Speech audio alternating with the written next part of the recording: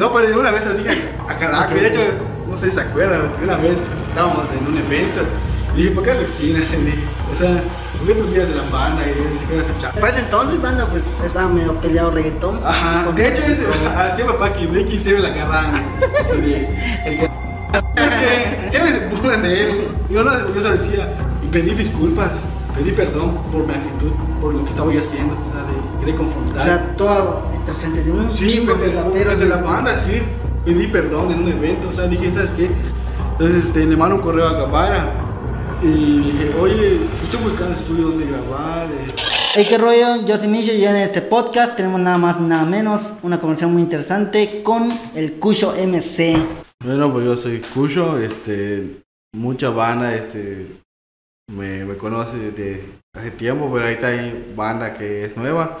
Este, yo soy de la escuela de RB Life, de la familia 187, después de Huesfa.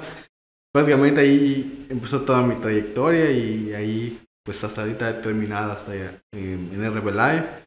Y ya llevo, pues llevé durante el movimiento como 15 años aproximadamente. Y pues ahorita vamos a platicar un poco de, de mis inicios hasta donde llegó todo ese rollo. Este, igual quiero aprovechar para mandarle saludos a, a- al jefe Víctor de Mente Big West, también del cual aprendí igual, este, de Gavara, y a toda la banda que me apoyó desde que empecé, a toda la banda de Sacaluna, a Levi, el que hace los, los tatos, este, a la banda de Tijulce, Ávila, y a toda la banda que, que a veces me topo allá en el Face, en YouTube, eh, en el WhatsApp, al karate, al, al escorpión que estuvimos la semana pasada este, improvisando allá en la calle, hace recordarnos viejos, viejos. Simón, eso vi, güey, eso vi, vi que subías en el Face este de... Sí, lo subió. eh, eh. No has perdido la, la pues la rapeo, ¿verdad? Pues eso, eso que estaban comentando los chavos, dice, se acercó varias bandas y, dice- y dice el karate, dice, es que ese chavo es de los buenos, dice, ah, sí, es de la vieja escuela, tal, y de los va-". Pero pues, o sea, yo a mí me nació porque pusieron el beat y la neta eso, eso no se olvida, eso. Sí, sí, obvio, lo güey. llevas Sí, por dentro y tantos años que, que le fui practicando, porque yo empecé desde los 13 años escribiendo y escribiendo las tonterías, ¿no? que no tenía sentido.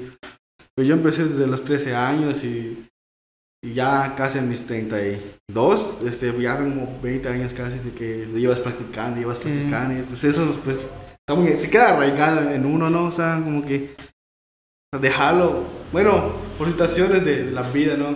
Pues uno se va alejando del, del movimiento, eso, pero eso nace, o sea, en cualquier instante, ¡pum!, florece. Sí, sí, obvio, güey. No, no lo este, puede dejar. pues antemano, qué chido volver a verte, carnal. Porque pues yo sé que, que pues tú llevas años igual en este rollo, güey.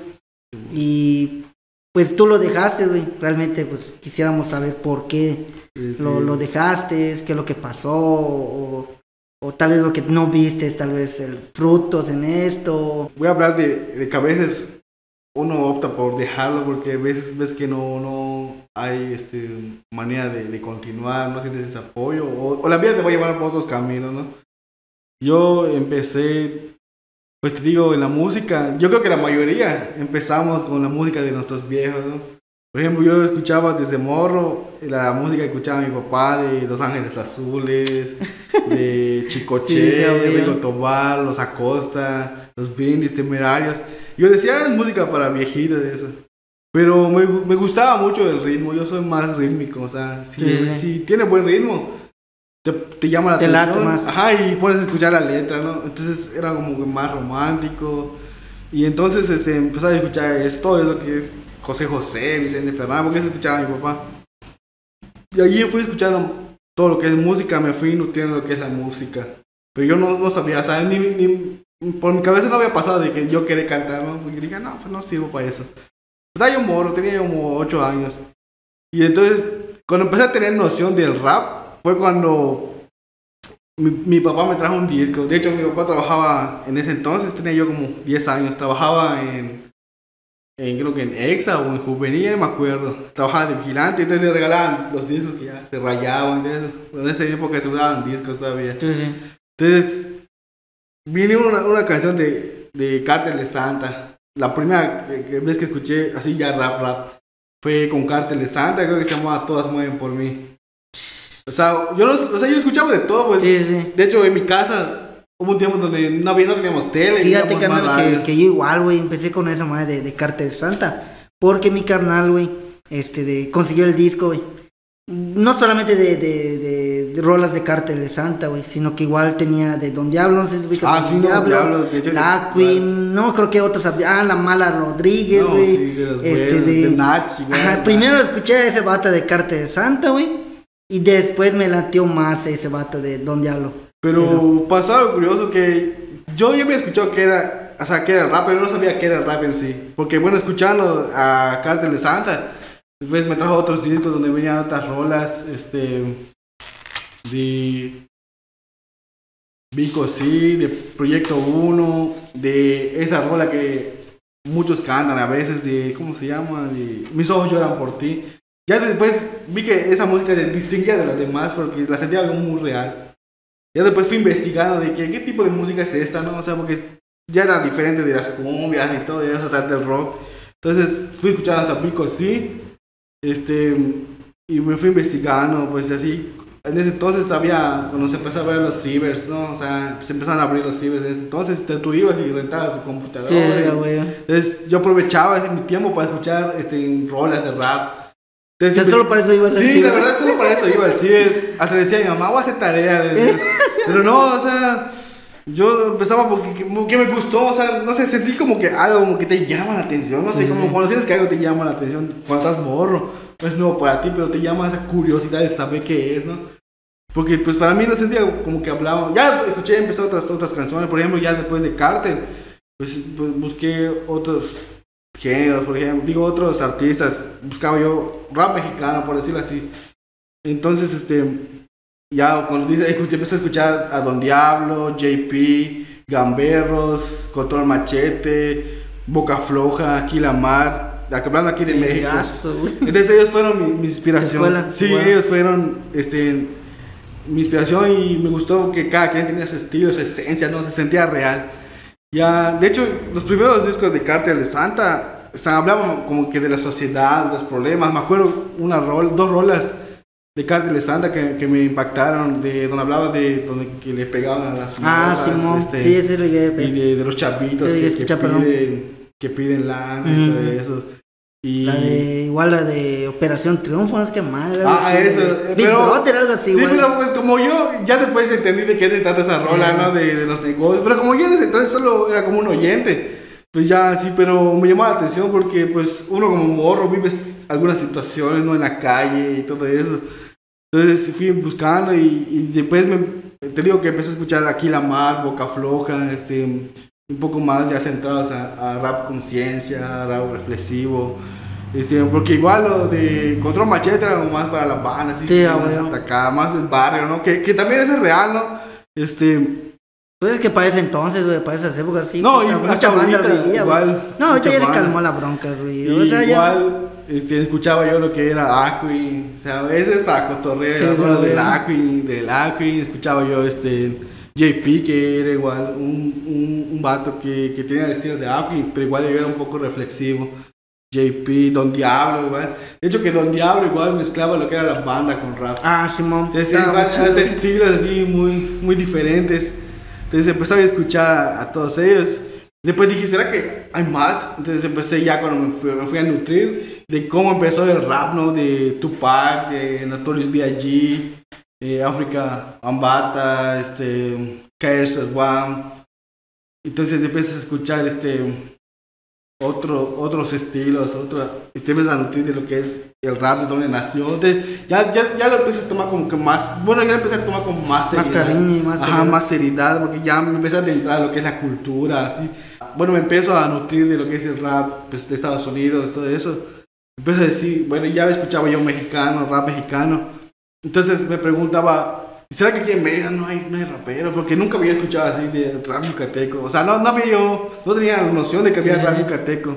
Entonces, te digo, iba a los ciber y me topaba apenas algunos videos de YouTube de que era, pero así eran en vivo, porque no, no, no había en ese entonces videos como ahora. ¿no? Ajá, habían escenas de, de videos en vivo y veía yo a la familia 187 en esos videos, a los Mayucas, Triple 9. En YouTube. Ajá, en YouTube, porque no había, bueno, en ese entonces no había videoclips, o sea, eran videos, grabaciones en vivo. Apenas creo que los primeros celulares que tenían cámara.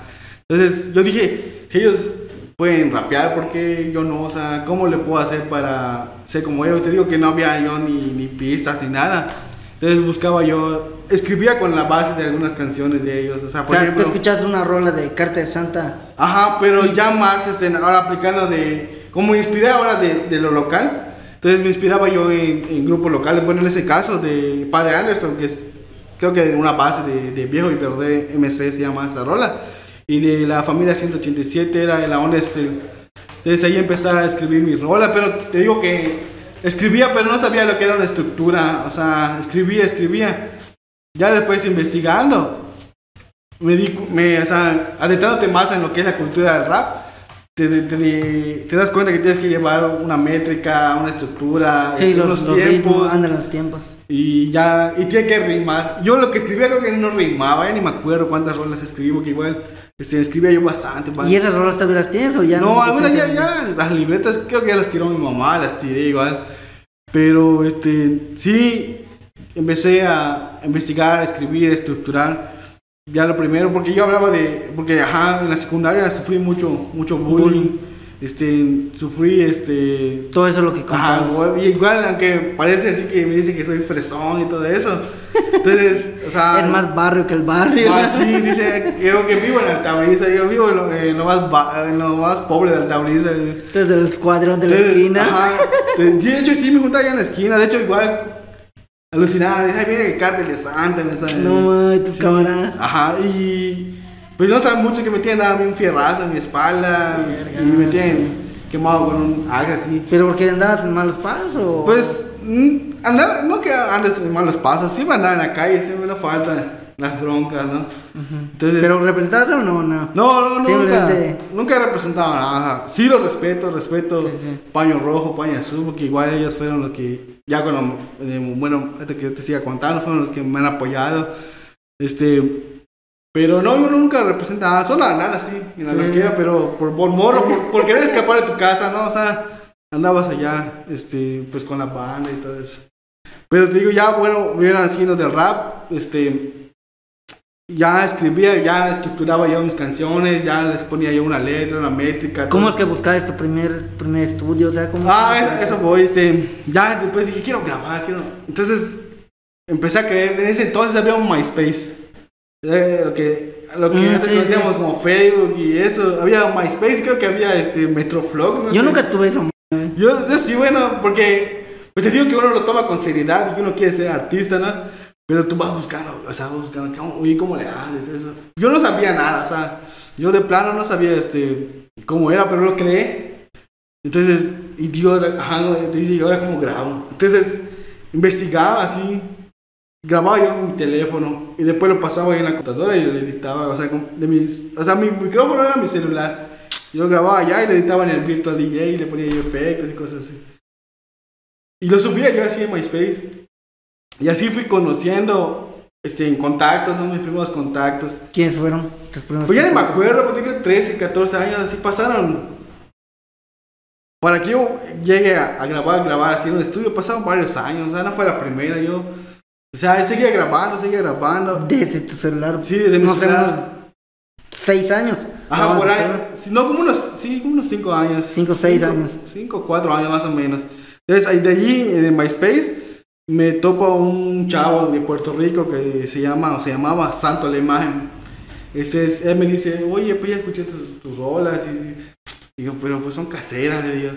Pero no le hace, quiero grabar contigo, quiero hacer una rola contigo. Me dice, digo, ma, digo, ma, no, no, no lo creo, no, digo, sí, porque igual Ajá. desde afuera. ¿sí me Sí, digo, pues digo, ¿cómo le hago? Entonces ya investigando, me acordé que entre los discos que traía mi papá y eso, había uno de la UEFA, de hecho no me acuerdo cómo se llamaba, si estilo de vida o, o la onda, y atrás venía su, su MySpace, venía su correo, entonces yo le mando un correo, ya, para ese entonces ya tenía yo 17, 18 años, entonces este, le mando un correo a Gabara, y dije, oye, pues estoy buscando estudios donde grabar, eh, este, no puedes ayudarme, dice, pues nos, vamos a hablarlo en persona, eh, porque mi hermano es el que graba, el demente, Demente. Víctor, Es camarada de ese vato. No, sí. Siempre lo he no, dicho bien. La verdad, es, Ajá, es ok. como un maestro, es como un hermano para mí. Entonces, este. para- me acuerdo que fue como un 13 de, de diciembre, creo. Hubo un evento en. Y siempre se lo recuerdo, el evento del libro allá en el Parque de las Américas. Entonces, yo lo topé allá y, y por primera vez los conocí. Bueno, ya los había yo visto, pero así de cerca no, porque antes, unos años antes, yo los vi en un evento de Ishmaquil. Mm. Todavía eran familia 187. Y tú los ves así más, siempre bien vestidos así. Más, yo quería ser como él. Yo quería ser como ellos. Dije, algún día seré como ellos. Pero pues, yo seguía grabando entonces en mi teléfono. Bueno, ya cuando así le mando mensaje a Cabara, dice que van a tener un evento en el Parque de las Américas. Entonces ya me acerco a hablar con, con él y después me dijo, este es mi hermano de mente, me dice, él tiene el estudio. Entonces ya hablo con él y agendamos cita. Entonces, yo pues entonces trabajaba yo eh, en un hospital de limpieza. Trabajaba, ya porque igual me sacaban de la escuela, igual, por pelear ya, con un chavo. Ma- Maleante, Sí, no se pagaba la banda. Sí, era yo así de. Que no te dejabas. Sí, buscaba yo bronca. Pero ya, ya me calmé, ya me salía más tranquila. Entonces, este, me dijo, agendamos. Y digo, Mayra, ¿cómo le hago? Digo, hasta miedo me da. O sea, llegó la fecha de, de vernos, nos vimos en el parque de San Juan. Entonces lo topo así, un chavo así, pelón. y dice, como No te me vas a saltar, dices, ¿no? Corteses. Mario. Yo iba yo con miedo, pues digo, pero ya estoy acá. dice. Entonces, sí, hola. Yo le hablaba de usted, "Hola, usted, ¿cómo ve mi letra? Y le empecé a decir, ah, está bien. Llegué a, llegamos a su casa y va, ves el estudio y así como que tal vez sea real. O sea, bueno, a mí me pasó así de que, como, ya sabíamos ser un artista, te puedes a pensar muchas cosas, ¿no? Sí, Entonces grabé y, y a la primera quedó la rola, pero me dijo, tiene una forma de grabar más que, que como que te va relajando y como que lo haces más como más profesional. Grabar en doble voz y efectos y cosas así, ¿no? Bueno, eh, para mí eso era nuevo, ¿no? Cuando Sí. lo hice la primera vez. Entonces veo que va quedando mi rola. Y más alucinas, dices, güey. Ya cuando grabó mi rola, va, dije, ¿ahora qué sigue? Pues bueno, se lo voy a enviar ese chavo. Ya se me dio, ah, bueno, al chavo de Puerto Rico. Este, me dio, o sea, a través de, de correo hablábamos. Entonces, ¿qué ahora qué hago? ¿Cómo, ¿Cómo le hago? Entonces ya empecé a crear mi Facebook, este, y ya mi canal de YouTube. Dije, pues voy a aprovechar. y- O sea, estabas en el MySpace y estabas Ajá. a un punto de. O sea, ya, ya me lo llegaba a lo que viene siendo Face, ¿no? Sí, sí, ya, Ah, ok, creo ok, que ok. ya empecé- ya existía Facebook, pero yo Pero no estaba tan pegado. ajá. Sí, sí, Ah, sí. Este, ya empecé a crear mi Facebook, mi canal de YouTube y ya de ahí mi página de, de, de Facebook, o sea, de, de artista, ¿no? O sea, Es más o menos cuando tú grabas tu rol, ¿todo qué año era? mm, 2009, 2009. 2009, 2010, ajá. Ok, ok. Y de hecho, muchos no lo saben, la, este, en NRB Live no grababa nadie más que la UESFA y, y, o sea, nada más ellos. La UESFA, este, y yo fui el primero que empezó a grabar con ellos. O sea, yo Oh, fui mira. de los primeros, o sea, pionero se puede decir, de grabar en NRB Live. Y este, y ya empecé a grabar y me gustó, o sea, me gustó grabar y, y dije, pues bueno, voy a grabar todas las que tengo. Y pues así de lo que ganaba yo cada quincena, sacaba yo mi lana, este, porque eso sí, y, y me lo dijo ese de, de mente. De amistad con negocio, nunca, o sea, una cosa es ser amigo y una cosa es los negocios, pero en ese entonces apenas estaba yo conociendo. Iba y me acuerdo que la primera canción, de hecho creo que es la única que queda en YouTube, se llama Corazón Muerto. Este, fue la primera canción que grabé ya solitario, o sea, mía. Sí. Es una de desamor, porque igual pasas, ya ves, que estás morro, pasas broncas de desamor, igual. Entonces pasas así cosas de desamor. Y entonces fue la primera rola. Ya después dije, pues voy a sacar mi, mi disco, mi mixtape o algo así, ¿no? Entonces vas y empecé ahí grabando poco a poco. y Entonces ya fui, fue habiendo más la convivencia con, con Demente. Tanto así que hasta iba yo a su casa y comíamos juntos, platicábamos. Entonces se fue haciendo Una, una fuimos, haciendo, ajá, fuimos haciendo un equipo. Hasta que me dijo una vez, oye, vamos a hacer una canción. Te quedas así, te sorprendes todo porque ves que tu ídolo que admirabas, que veías en los escenarios, y te dice que vas a hacer una colaboración. Entonces yo no me la creí. Pero entonces ya, este, ya mis bases eran bases de, de, rapes, eh, de raperos españoles, Nach, Porta. Y a raíz de eso, pues este, escribimos nuestra primera rola que se llama Burocracia, que este, hablaba del gobierno y cosas así, ¿no? Sí, Simón. Entonces, y después fui con los, ya después empezaron a llegar otros chavos a grabar, Gatuso, el Sonido Brown, que era pasajero, y Mr. Martínez en ese entonces, y el Allen. De ahí surgió, pues, un, comp- o sea, nos juntó en un tema que se llamaba Escuadrón Rap. Ya de ahí, este, fui conociendo a otros chavos, tuve otras colaboraciones con chavos de, de Los Mochis, del DF, de Nayarit. Oye, pero, pero ¿cómo, cómo, ¿cómo es que logras tú conectar? Había un grupo, este, de- ya que tocas ese tema, güey, había un grupo Royal, Royal, algo así. Ah, bueno, bueno, sí. Estos vatos, ¿cómo es que llegas con estos vatos? Porque para ese entonces, cuando yo veía que tú estabas colaborando con estos vatos, güey, yo me quedé de que, wow, qué Ah, loco. sí, bueno, igual durante el transcurso que grababa yo en, en Live, pertenecía a Block Royal. En la madre Blue Royal. Block Royal. ¿Cómo es que llegas allá tú? Pues, voy a decir que estoy alucinando, porque no, no lo van a creer, pero, o sea, los de allá de, de Estados Unidos son los que son de Estados Unidos. De hecho, va a sonar muy alucin como Marte y Cadera, pero ahí Block Royal pertenece al rapero Akon, el negrito, que canta con Eminem y todo eso. Entonces, supuestamente decían que no cualquier rapero pertenece, pero me decían que mis rolas son tan reales, que se escuchaban así de las vivencias reales. De hecho, así se llamaba mi primera producción. Que me llaman, me dicen, no quieres pertenecer a nosotros porque vemos que tienes talento, o sea. Y como realmente no se escuchaba mucho el rap yucateco, porque muchos decían, en Mérida no hay rap, en Yucatán hay rap, más que uno creo que Padre Anderson y la familia 187 y Mayucas, que son los. bue- Ah, y la esquina. Este, entonces este, me decían, oye, pues veo que tú estás representando bien tu estado porque eres el único que, es el único que está sobresaliendo, está siendo escuchado. Entonces yo se lo llegué a platicar de mente, me dijo, pues aprovecha tu, tu oportunidad. me. Entonces pertenecí, entonces, pero, con el, pero también iba yo a representar Rebel Life. Entonces me, me dieron el pase, o sea, me aceptaron el Blog Royal. Empecé a tener contactos, colaboraciones con gente de, de lugares que no me imaginé, con gente de Rusia, de Estados Unidos. De hecho, un chavo que es de los buenos, que es el cítrico. Entonces, este, empecé a tener con, con gente de Francia, de Círculo Asesino de Francia, con BLDZ de, de Rusia, y empecé a tener colaboraciones ya, a lo que empe- cuando empecé a grabar. Y pues ya fue mi debut en el, eh, en el escenario fue en Capricho, creo que trabajaba Mr. Martínez allá. Entonces, de allí empezó el boom. Porque me dijo el demente, ma, y todas las bandas. De hecho, pues se borraron todos esos videos, ¿no? Entonces me dijo, ma, lo hiciste bien, te la rifaste. Y de aquí a lo que sigue. Y de allí ya empecé a ir a los eventos. Este, me acuerdo que eh, otro, un- el único evento que me fue así, pero más que lo voy a recordar siempre con cariño, fue en la Mulsai, en frente al Caimede. El que hicimos, el que Sí, hice. Porque este.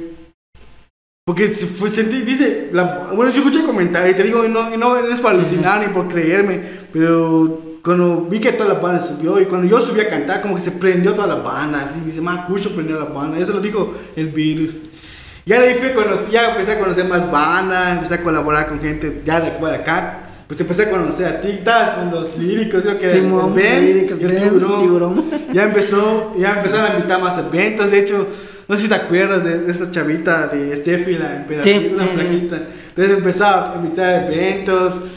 Este, de hecho, creo que. Ella también hizo un evento, güey. Sí, creo La que verdad. invitó a Paqui Ricky. Ah, Paqui, el Simón. gordito.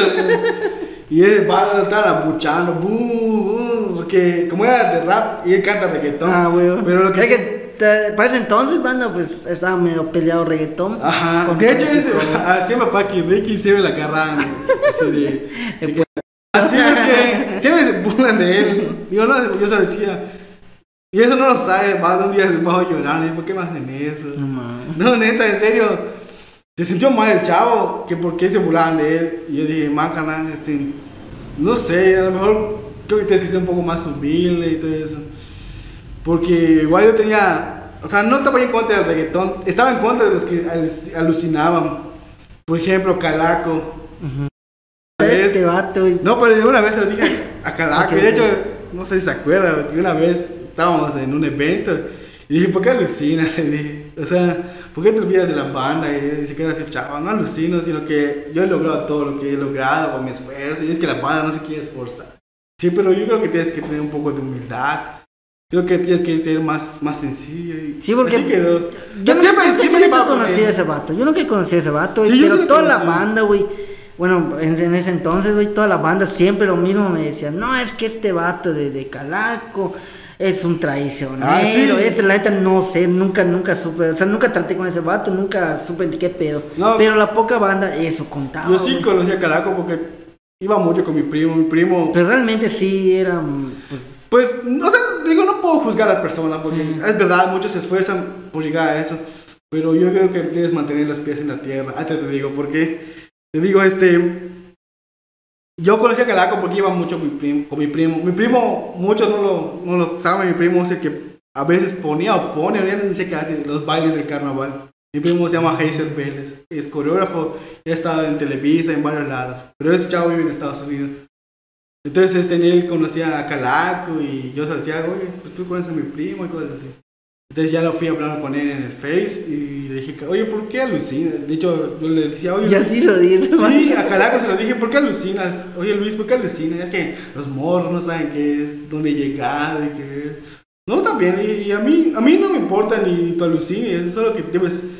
O sea, no sé por qué la gente te critica, porque no sé cómo eres, digo, pero si, si te critican es por algo. Y luego aprendí la lección, porque yo igual, este, ya había pasado un tiempo, igual sentí como que alucinaba Sí, sí. la banda. Entonces te das cuenta de que este, vas cayendo mal, vas cayendo mal. Y de mente me lo decía. Es que Sí. tú cuando te subes al escenario, como que alucinas. Y que eres Es que, es que, bueno, yo, yo hoy en día como lo veo, carnal, es que pues es parte de, estás mo- estamos morros, güey. Yo igual pasé por eso que tú dices, de que igual yo, cuando puse acá en mi estudio, güey, igual yo alucinaba de que, ay, ya verga, porque igual se llenaba acá, güey, todo ese pedo, güey. Y pues yo digo, hoy en día, ¿no? Digo, este, de, pues estaba yo morro, no sabía. el- Es más, hasta cuando escribía, güey, escribía pura, Sí. puro que yo soy Juan, Juan chingón.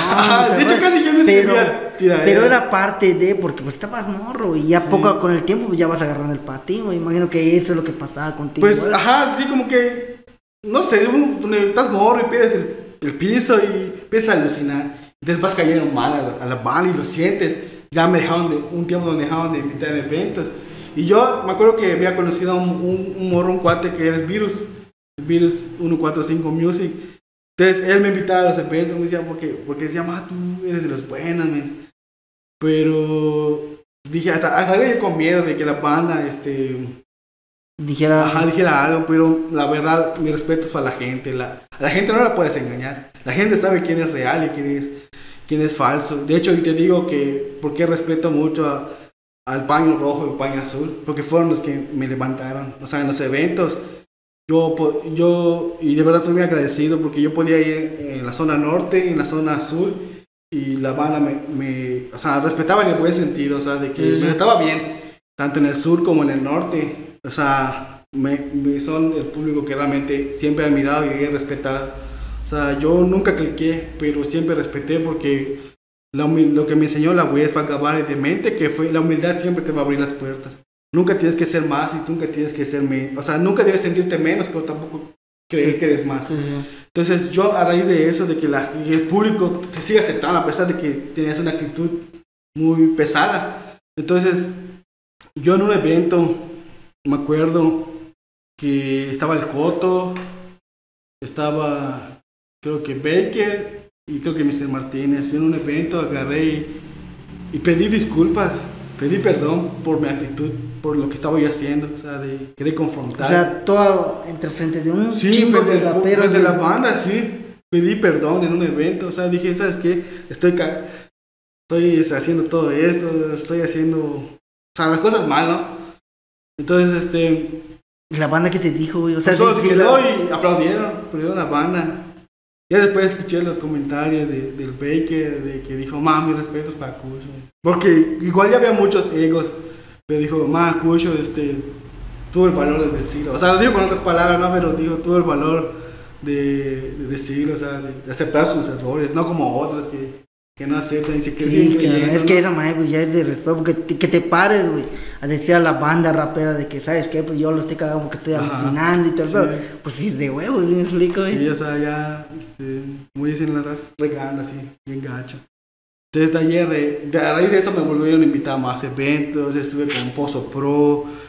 Y sale de eso hacer un colectivo, ¿no? Para unir a todas las bandas de, de Mérida. Entonces fue cuando me uno con Virus. Me, empezaba, me empezaban a invitar a más eventos, y, pero igual de ahí me uní con Virus. Pero yo la había conocido desde que, en, en el día que debuté en Capricho.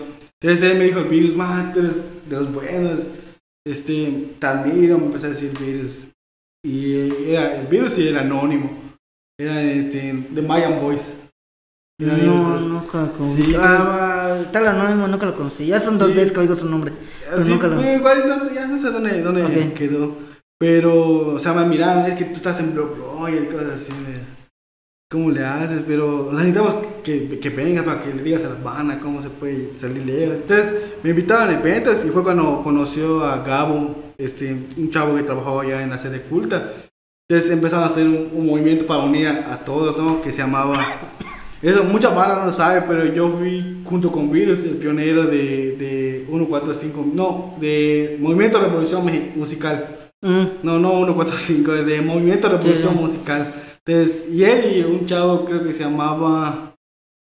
No fue el nombre, lírico anónimo, algo así. Se llamaba igual que Creo que sí está el lírico anónimo. Creo que Sí. sí. O sea, ya son dos veces que oigo ese nombre, güey. Sí, Pero- entonces este, firmamos un, un, contrato de, para hacer eventos. Por ejemplo, a mí, o, o sea, por, ejemplo, por decir una marca, por ejemplo, mi marca era Rapmanía. Todos los eventos que yo iba a hacer tenían que llamar Rapmanía, cosas así.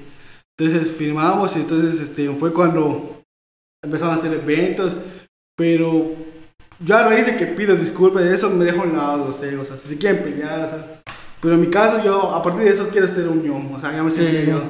El bueno no, pero no, Este, a partir de eso busco hacer unión, entonces siempre decían, no, siempre había alguien que la estaba regando, es que ese chavo alucina, o sea, ya, Sí, el ya- típico de- ajá, ya eran nuevas generaciones que venían detrás, entonces yo decía, pues, trataba de aconsejar a los, a los chavos, que como yo ya pasé por eso, de decir, sabes Sí, que no debes sentirte más, y ya me sentía con esa experiencia, y este, a raíz de eso, me invitan a eventos, de hecho, participé en la batalla de, de cuando vino el Adrián, este, mi- mi- este, de Culta Flow, creo que la Sael, no me acuerdo, un gordito, Sí, Dijo, sí, "Mae, sí, sabe. más buena onda, canal, ser bueno, entonces. O sea, ya la, ya la banda, o sea, Ya me, ya me aceptaba, ya me ubicaba. Porque te digo, la humildad, o sea, ser humilde, la gente no la puedes engañar.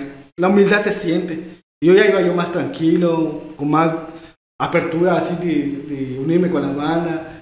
Entonces participé en la batalla y ves que la gente me apoya y todo eso. Me tocó que con un chavo de Cenotillo, de Ticú, no me acuerdo. Entonces, este, gano la primera ronda. Y a la segunda me elimina un chavo de, de Cancún, el bueno, el campeón de Cancún. Entonces, pero ves que la banda te apoya. Entonces, este, de ahí fue cuando empe- conocí a Villago. Ahí conocí a Villago. Y fue cuando dije, ah, pues quiero Ah, mira, mira, impulsar". mira. Mira, nada más se van a enlazar los, los podcasts, porque... Ahí conocí a Villago, este, y pues fue Sí, cuando... porque igual yo invité a ese vato de Villago y lo mismo me contó que, que cuando vieron los de Adrián, güey, es cuando te conoció Sí. también a ti y todo el pedo. Porque ahora, va- o sea, ahora mi rollo va encaminado en apoyar a la banda, o sea, de impulsar a nuevos talentos. Y de allí fue cuando le digo a Virus que, este, que hagamos eventos en los pueblos. Y precisamente me dijo que conoció a un chavo que era de Zacalum. Entonces, es de que recuerdo todo lo que pasó. Después cuando fuiste, fuiste tú JC y otros chavos. igual. Simón, varios. Sí, sí, sí, varios. Sí, sí, es una. Ya sé que te vas a contar, Sí, todavía que no sabe la bala de, de Zacalum. Nos fuimos a Zacalum. Fue la primera vez que yo iba ya a Zacalum y a toda, y, y primera salida a un pueblo. Pero fue cuando conocimos al David ese y eso sabe que, que la banda no lo sabe. Y si me pregunta, cuéntalo, me dice. Pues resulta que después del evento, pues ya sabes, ¿no? Todos con Puta, la fiesta. Bueno, pues sí, nos fuimos a la fiesta. Es que, es que, ¿sabes qué pasa, güey? Bueno, la generación de ahorita, güey, ellos solo van, cantan y se van. Ajá. Antiguamente era cantar y después, güey, nos íbamos de, de fiesta. Todos los Sí, participantes, todos los que cantaban se iban de Era fiesta. after, ¿no? A la madre. Entonces ahí ese evento hasta Calún igual fue uno de los, de los padres porque ya había sacado mi disco y siempre me compró la banda. O sea, en los pueblos igual hay mucha gente que apoya y hay mucho talento. De hecho, en Zacalún, en Ticul, este... Entonces, cuando termina eso, eso, eso es algo que nunca se me va a olvidar. Cuando fuimos a casa, creo que su tía de David LS. No me acuerdo casa No de quién era. acuerdo, güey. Fue cuando le di, eso lo cuento y le digo, ya estábamos tomando todo eso, y no me acuerdo quién se estaba peleado con quién. Entonces yo le dije, cálmala, dije, cálmala porque se está chipando la doña. Ah, güey. Entonces ya yo me fui a huichar. Cuando veo a la doña con su escoba, mami, ¿qué Masa. tal? Doña, yo no tengo nada que ver. Pero sí, digo, siempre cuento que en la neta de Zacalón nos sacaban por borrachos. y ya, pues, de ahí nos fuimos, no me acuerdo cómo, cómo terminamos. Ahorita estábamos bien borrachos, o sea, ya ni me acuerdo. Y pues en entonces, Sí, igual, yo güey. fumaba yo mote y todo eso. O sea, porque sí probé la ya estábamos, o sea, bien dados. Astrales. Sí, ya estábamos viajando, entonces, no sé cómo que igual se tiraron al barral ya.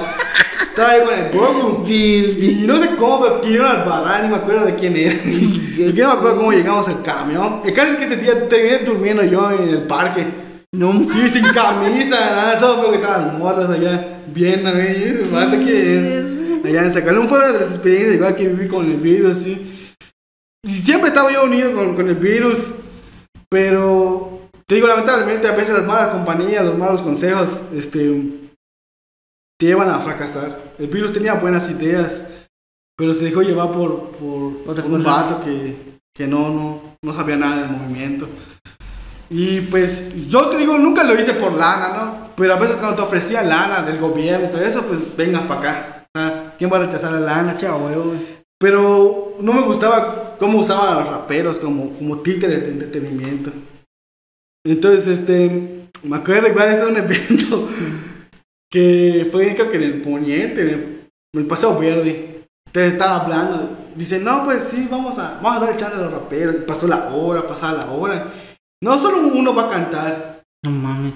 Luego Y uno- toda la bola de Ajá, raperos. todos estaban chivas. Entonces agarré y. No, pues me chivé y dije, no, pues que brinca su madre el gobierno, cosas así. No mames. y si me apagan el micrófono, voy a seguir insultando. Y, y ya toda la pana, eh, pues a aplaudir. Sí, porque yo estaba enchilado, sí. Yo Sí, sacaré lo dije a la doña, perdóname, doña, pero si nos invitan. Yo vengo desde Altaburí, de quienes que vienen de progreso, porque igual había otra Sí, pana. sí. Y no, y solo uno va a cantar, como que no. Yo se lo dije.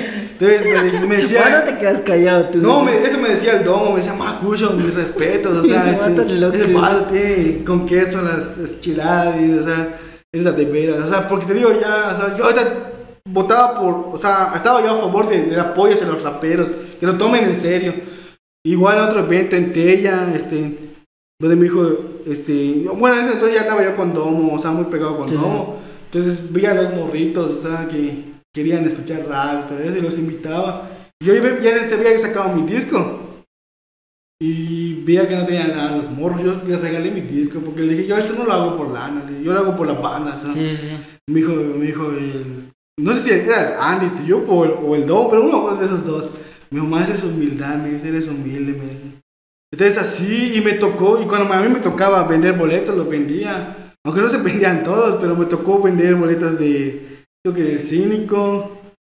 Y no me acuerdo que otros vinieron igual. Pegar flyers, de hecho cuando hizo otro evento, este, este, Mr. Martínez, eso, me tocó igual pegar flyers. Y así, te digo, está, ya eran muchos eh, eventos y todo eso, ya, pero pues, ya a lo largo del tiempo, ya te estoy hablando más para acá, ya del 2019, igual me tocó, ya, pues se complicaron las cosas entre mi carrera y, y el rap ¿Por qué? porque tenía yo ya metí más tiempo a, a mi carrera. O sea, me dedicaba yo a mi carrera, ya... ya- Carrera, pero carrera de qué? ¿Qué- Ahorita qué yo soy era? trabajador social. No, no, yo soy O sea- muy broto para eso, no estudié. Soy de las personas que ayudan, por ejemplo, como un psicólogo, pero no tanto de terapiar, sino que buscar la manera de cómo ayudar, o sea, llevarte a las personas que, que tú necesitas ayuda. Por ejemplo, si tú tienes problemas de adicción, buscar un anexo, buscar de dónde, dónde sacarte Sí, ajá, Ok. adelante, ¿no? O en la escuela, cosas así. Entonces ya me enfoqué más a mi carrera y ya lo último que grabé fue en Ticul con un con un morro. Que, que da la casualidad que yo nunca me imaginé grabar en Ticul porque mi primer hate fue un chavo de Ticul. Creo que ya ni. Faltaba que sea él. Ajá, ya- no, pero no era él. O sea, sí lo conocían, pero mi primer hate fue un chavo de, de Ticul que ya ni sé si canta o ni sé qué pasó, ya porque dejé, dejé de, de, de ver. O sea, mi primer hate era un chavo de Ticul, creo que se llamaban Yucaslop. Creo que el Raz se llamaba Rod, Rodri Sosa, no sé. Entonces, este. Fue mi primer hate, pero igual, o sea, no le contestaba. Fue cuando Sí, me empezaba ya a sacar tiradeas, pero no directas, sino como diciendo. Yo soy el bueno, yo soy así. Sí, sí. Pero demostrándolo con mi talento, ¿no? Pero entonces, bueno, lo último que grabé fue unas rolas de reggaetón en el. En, allá en Ticul con un chavo que se llamaba. Era cristiano, porque igual mi estilo era como rap cristiano, reflexivo. Entonces, este. Grabé ese estudio. Pues eso fue en el 2019. Ya cuando vino el COVID, eso ya dejé de grabar. De hecho, de mente igual dejó de grabar.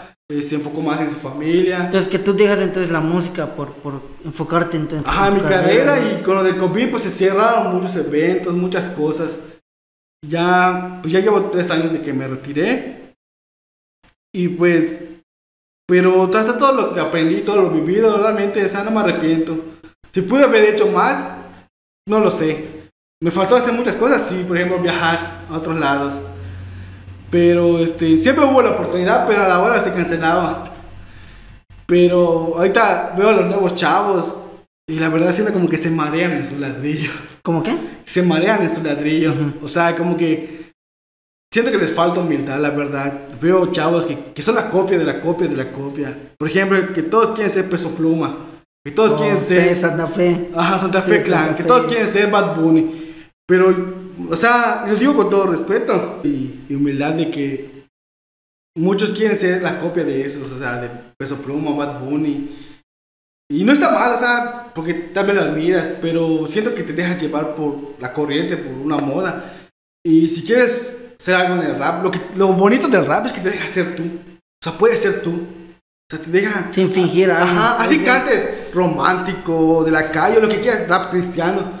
Pero lo- tienes la libertad de serlo porque eso es el rap, eso es la esencia del rap. De venir expresando lo que sientes. Pero si tú quieres ser rap porque quieres imitar al otro, entonces ya, Ya no pierdes, eres, tu, ajá, pierdes tu originalidad. Entonces, Por es eso a lo que- veces también muchos no pegan o no, no crecen un poco más por lo mismo. Sí. Es lo que no saben los morros. Es de lo que siento de los morros que están pasando ahorita. Y siento que te digo que se marean en su ladrillo. Te digo, y lo digo con, Con respeto. con respeto y humildad de que nosotros creo que fuimos la época, la última época dorada del rap yucateco. Porque había, sí había ellos y todo eso, pero respetabas a los maestros, respetabas a, a la gente grande, ¿no? Sí, a los grandes. Por ejemplo, yo siempre iba, a pesar de que éramos de distintos estilos, yo siempre respeté en escenario y abajo del escenario, a la esquina, a la huesfa. No porque yo hayan sido mis maestros la huesfa, pero siempre le, le tuve un respeto y le voy a tener un respeto. Pero también respetaba a los que ya tenían trayectoria, a, a Outcam, a, al Triple 9, Sparky, al Acon y al Panel, o sea, que también ellos fueron los pioneros igual Sí, de, sí, de obvio. la nueva generación.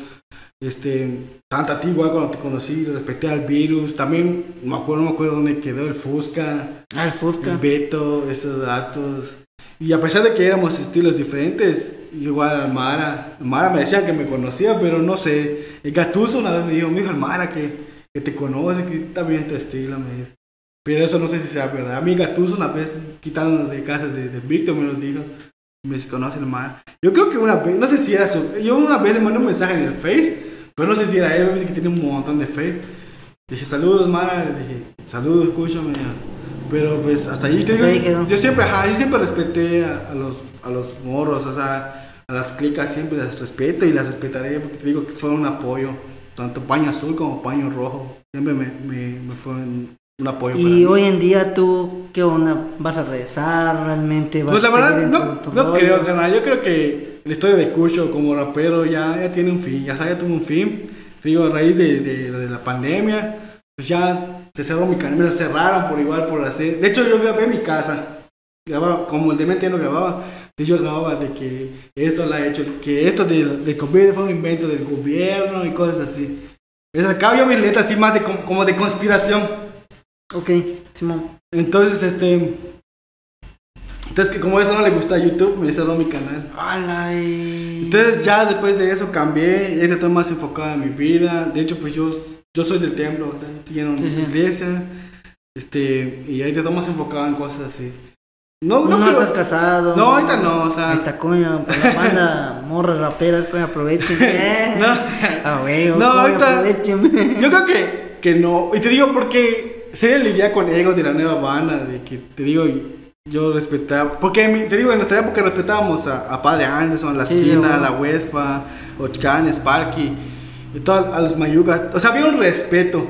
No había tanto ego en, los morros, al menos desde que pasó lo de mi regada. Entonces, eso. tú ahorita, ¿cómo ves el, el hip hop ahorita? Que hay mucho. Es lo que te digo, o sea, que, que no había ese respeto. O sea, si yo digo, pues yo fui rapero de los primeros, o sea, yo soy vieja escuela, se los llego a decir a los moros, tú, vas, ¿tú qué sabes? Ya estás anciano, o sea.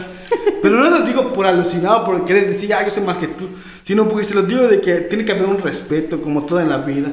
De los moros, ahorita no se pueden dar ese, ese alucín tan grande porque van a chocar. Porque siempre va a poner, ah, salir alguien más loco que los va a poner de cabeza. Eso es lo que, es lo que quiero que entiendan. Que no pueden decir, soy rapero y hago esto, improviso, sino, sino con humildad, con calma. Y siento que eso chocaría a los moros. Sí, no te miento, a veces sí me, me gustaría Volver. volver, o sea, retirarme bien en un evento, o sea, como un evento de despedida, porque siento que eso me faltó. Pero pues no dado la oportunidad. Este, pero pues vamos a ver. No te puedo decir que no, pero no sé qué pase más adelante, o sea, Pues tú y yo nunca hemos hecho una rola, carnal. pues, A ver si algún día. Sí, a ver si Pues ya sale tengo algo. trofeo, ya tengo todo ese rollo. Pues, a ver si, si Sale algo. De hecho, algo. Este, te digo que al, al principio que te dije que encontré al, escorpión y al karate, que Ah, sí, saludos. no de hecho, el Porque vi un video donde estás grabando improvisado. ¿Qué Sí. rollo? ¿Qué? Pues eso fue la semana pasada, estaba yo en el centro. Veo que me dice un O sea, porque sí ha pasado. Y digo, y no me lo quiero dar a lucir, pero hay, hay, hay moros que pasan. O bueno, no moros, siguen pero- Ajá, cucho, me dicen, cucho. Entonces me pasaron en el centro, me topó el karate. Cucho, ven acá, me dice. ¿Qué onda, carnal? Y yo, entonces me dice, sí, grabando, no, ya le conté todo eso, ¿no? De mi canal, y, o sea. Entonces me dice que ya, ya sigues dice, pues, no mucho, carnal, porque nunca me ha gustado improvisar. Y ya desde eso pasa el escorpión. Así como que se tiran las cosas, ¿no? Y, pon, y siempre pasa el chavo con su bocina. Y dice, ah, te va. Y dice escorpión, escorpión, más si lo conozco, es del batallón de Rebelay, ese de los buenos. Entonces, ah, gracias, carnal, le digo. Entonces, este, puso su, su celular y tal. vamos a improvisar. Y pues ya estoy acá, dije, voy a improvisar, a ver si, si puedo desempolvar algo. Entonces empezamos a improvisar. Y, este, y le dije yo, pues yo soy cristiano, pero yo no voy a improvisar así insultos. O sea, si quieren seguir mi, mi- la ronda, o sea, porque ves que improvisa Sí, es un tema, ¿no? Si no, hay bronca, o sea. Y Entonces empecé a improvisar y hablé de- del talento, de Rebel Life, de, de que muchos quieren llegar a ser grandes y tienen que empezar desde abajo. Entonces, este, pero para dar un mensaje a la nueva generación de que tienen que ser más humildes, más, más tranquilos, más sencillos. ¿Tú cómo ves a la, la banda? Porque, bueno, digamos que en el tiempo que no has estado, güey, me ha tocado a mí en lo personal, güey, este, de, pues lidiar con ellos, ¿sí me explico? La nueva generación, güey. Y me ha tocado unos morros, güey, que, bueno, no exactamente a mí, ¿no? Pero he hecho algunos eventos, güey, y dicen los morros, este, de, es que si no está mi nombre en el flyer, no puedo ir, porque no, no, no estoy en el flyer. Eso. ¿Tú cómo ves? Eso era lo que yo, lo que le, les caía mal a la banda, que te digo que fue cuando la regué, porque yo me sentía ya una diva, un... Que si no ponía mi, mi, mi nombre. O si se lo ponían Ajá. mal. Ajá. Si te lo pones mal, igual. Pero no. y fíjate que, y no lo por alucinar, pero en todos los años que estuve de rap, estuve, llegué a estar a más de- en más de mil eventos. Tanto con mi nombre en el, fly, en el flyer, como si mi nombre no estuviese No en el estuviera en el flyer. flyer. Me tocó estar en eventos de SECAM, me tocó estar en eventos de varias, varias bandas que vino, o sea, venían, aunque mi nombre no esté en el micro abierto, pues ya estás en el escenario, o sea que te sea, cuesta aceptar. Al final, güey. Esté o no esté tu nombre en el flyer, güey. Vas a cantar. A huevo. Es lo que te digo, lo- muchos morros no entienden. Y te digo que después de que ya la regazón que hice, todo eso de que yo me sentía una diva y que, que me decían, no, no, no, no está, o, o solo quiero ser el bueno. Entonces, este, ya después de que pedir perdón y todo eso. Ya entiendes que lo importante no es que estés en el flyer o no. Lo importante es estar en el Estar evento, convivir con la cantar, cantar, convivir, como dices tú, convivir. O sea, te digo, toda esa anécdota de, Sacalón, todo eso, Puta, es algo que, que, que te llevas. Más, sí, que lo vives y lo disfrutas porque neta, son aventuras que, que te digo, yo ya me retiré, pero hay cosas que no se van a olvidar. Hay cosas que viví y me siento bien con lo que viví, con lo que hice. Y sí me faltaron muchas cosas, pero pues ya, o sea, como dicen, ya lo viví, ya nadie te lo quita. Y siento que esos Y eso es lo importante Ajá, del hip hop. Y siento que los moros, como tú dices, siento que quieren comerse al mundo de un bocado. O sea, que porque ya los invitan en la tele, que porque los siguen en Instagram. O porque ya en tienen 20 likes, o Ajá. 1000 likes, o 2000 Sí. likes, güey. Eh, es en que, o, no o sea, ¿sabes que igual pasa like. igual, güey? Eh, tomando este tema, es de, este, Cucho, este, de igual, güey, hoy en día, pues, ya hay más facilidad para tener una mejor calidad, güey. Antiguamente no, güey.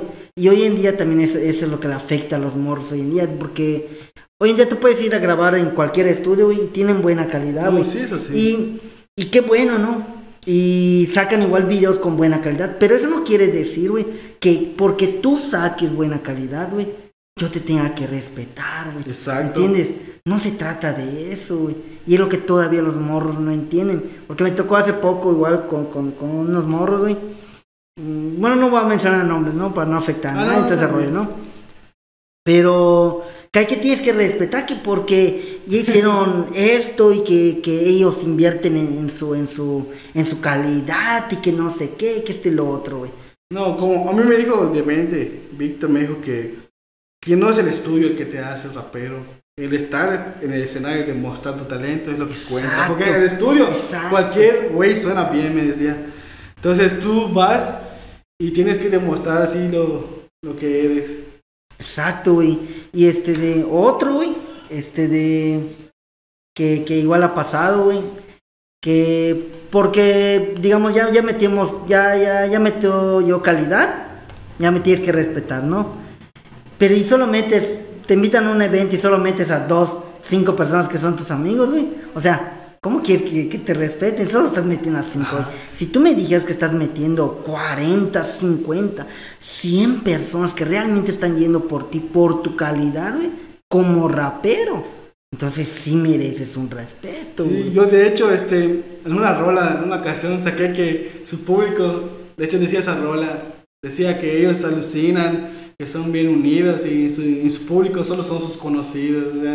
Y la neta, güey.